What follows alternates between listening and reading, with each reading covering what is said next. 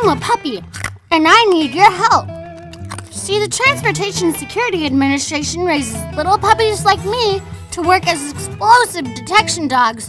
But until I'm big enough to start school here in San Antonio, I need foster parents, like you. Please contact Puppy Foster Program 210-671-1624. The nice people there will give you all the details.